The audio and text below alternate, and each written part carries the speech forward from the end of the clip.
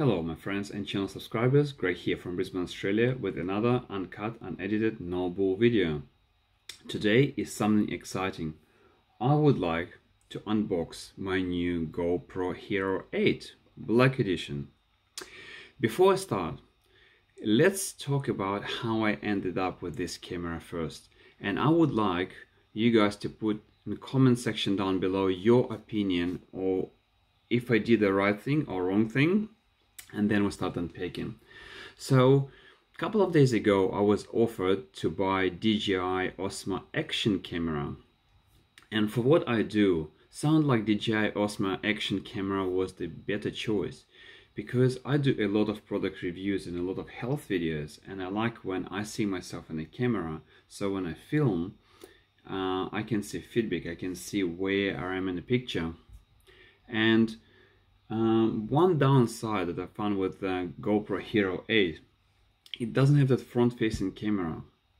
So the feedback of what it is won't be there. However I was reading reviews how people compare them and literally cameras are very comparable side by side. People say that stabilization is better on Hero 8 and a um, couple of other things but conclusion was the cameras are almost identical for what they are biggest difference is in the price and stabilization and other things that GoPro can offer. So I thought how many times in my life I buy camera like that? Maybe many times I'm not sure but at the moment looks like maybe not more than once or five years. So I decided to spend a couple of more dollars and end up with GoPro Hero 8 and the reason is that because the conclusion was if you're doing a lot of um, bike riding action shots and things like that uh, you better go with GoPro. And that's my intent. Many people ask me to go more outside and film tropics film bike rides film more action and that's what I intend to do. So just let you know and another reason why I bought the camera in the first place is uh, people start shaming me by filming on my mobile phone which is fair enough. I'm not a professional YouTuber. I'm here to create community where I help people. And I thought the footage uh, of 1080p from mobile phone is good enough. Um, maybe not. So thank you so much for your input. I'm listening. That's the next camera I'm gonna my film my video with. So what did I buy? Uh, I buy my stuff on Amazon and the reason is that I don't have time to go shopping and probably I don't want to go shopping I put link down below when I got my camera but you know taking this opportunity also got uh, myself a um, SD card. I didn't buy 256 I ended up with 128 and I decided the difference in price I would like to put in a faster um, memory card. It's not the best one right but it's that happy medium that many people that using GoPro recommend.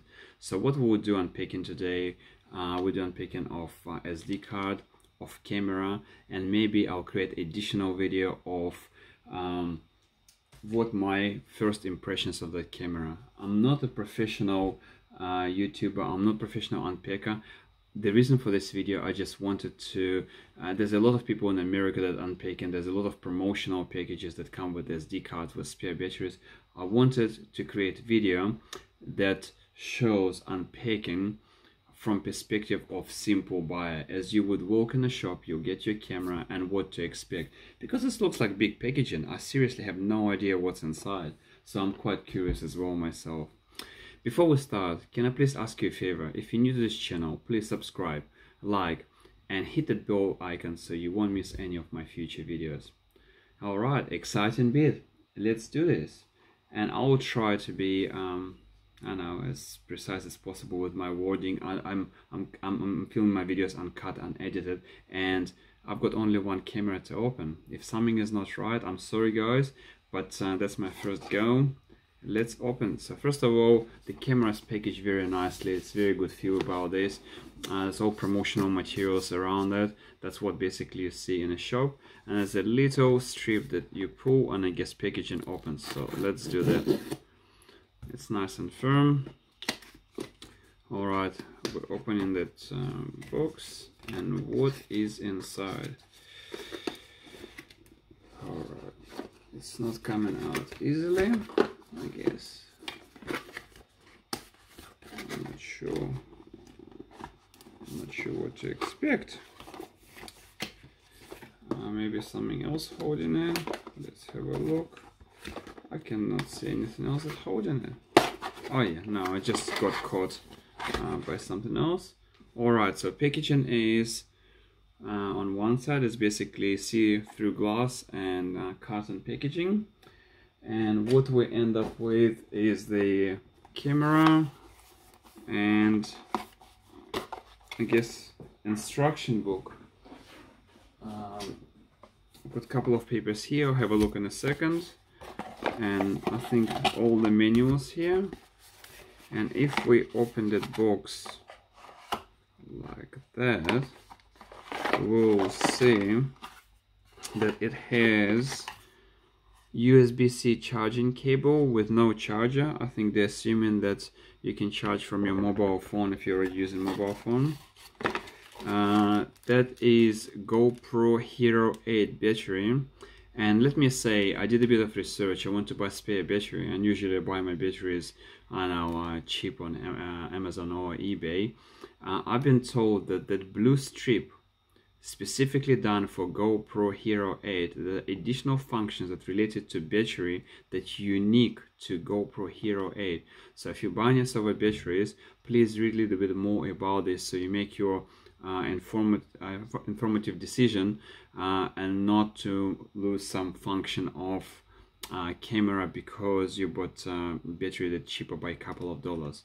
So so far we got uh, a battery a cable uh, book of instructions there and looks like um, helmet adhesive mounting which is great because I don't have any um, anything for this camera I'll probably go on Amazon and buy some sort of uh, kit that would um, have a couple of uh, straps and and holders and I'll post again a video with what I've got there. Now what we've got here that's a camera. How do I mount it? All right so there's a one kind of lever to kind of lift it up and the press buttons on the side and slide it forward that's how you unmount the camera and it completely unmounts. And I think that's done just for packaging. And that's the camera here. And I think okay it says to remove it. There's a little thing here that say remove. Um, I guess it's just uh, done for packaging purposes. And we need to remove it for if we would like to use it in the future. Yep. So that's actually another interesting part of this camera and that's the reason why I bought it because if, if I would like to put on a table and have it stationary the holder here is uniquely designed so they actually can fold and camera can stand on a table and record if I don't have any holders. But if I do have holders they come in like that and and basically uh, mounts on a holder on top and then screw screws in so it looks like um, I'm not sure what this one for I think it could be just uh, uh, to hold camera while transported. Um, Alright, I'll just fold the um, holders in and from what I understand I need to pull lever down. There's a lever on the side. So one side you've got power button, the other side you've got lever which shows the red color when you open it up and then um, supposed to lift up. And I've been told not to lift it too much because it will snap. It won't, snap broken. It will just snap and you need to remount it. So there's no reason to, um, to actually open all the way up. Now um, I've also been told by people that using it that uh, you need to put SD card first and then battery otherwise it's inconvenient to put SD card in so let's do that so I've got um, SanDisk uh, uh, SD card I bought on Amazon as well I'll put link down below where I got mine. Again, reminding it's 128 gig. I think it should be enough for me to uh, create videos that uh, then I'll transfer. 128 gigs still uh, enough um, enough space. Alright I'm not sure why they're picking in a way that it's inconvenient to get out but I guess we're almost there. Okay the card is out almost out I'm just trying not to break the card they are so fragile. Alright the card is out. So what we will do um, I just try to show how I put the card in. So that's the card and I'll just guess slide it in. I think wrong way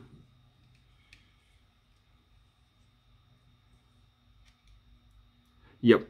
Slide in and then kind of click it in and it stays in. Uh, and the battery the battery has um kind of um, you know lever to get it out but also it just I guess slide in like that. Ah it's nice and neat. Um, closing back the cover and closing the side I guess side is really important to close well so you don't see red. If you're going underwater and camera is waterproof up to 10 meters uh, water not to get in so that's kind of important bit. And I guess that's just a protective case here. There's a picture here of um, on a screen. I think it's protective case. I'll try to remove it. Yeah. It is protective case and I'm removing it. So yeah camera is nice and neat um, that's the camera. Good size good camera. And I'm yet to test it so that should replace my Samsung Galaxy S10 Plus that I'm currently recording on. So for next video can you please let me know in the comments below what you would like me to do? Do you want me to go through the menus? Do you want me to um, shoot in different uh, different scenes uh, try stabilization compare it to other cameras or also let's discuss difference between GoPro Hero 8 and DJI Osmo Action. Because seriously it was really hard decision because uh, Osmo Action to me was cheaper $150 cheaper. And I'm still questioning whether I made the right choice. So if you think I made the wrong choice please let me know in the comments down below. If you would like me to test something or compare with something else please let me know as well and I'll do it soon. For now, I'll go and charge it and probably do some software updates and set up my environment. Thank you so much for watching. Greg from Brisbane. Until next time.